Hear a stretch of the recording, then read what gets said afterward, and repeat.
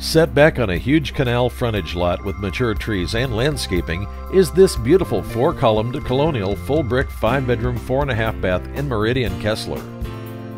The street sides are fenced with wrought iron and pillars, and the rest of the yard is a full privacy fenced with a concrete patio area. The home has been remodeled with stainless appliances but retains much of its vintage integrity, including hardwoods throughout. Seated within walking distance to amenities, this home is super clean and move in ready. A one year home warranty is included. Contact the Jeff Bollman team to find out how to make this home yours.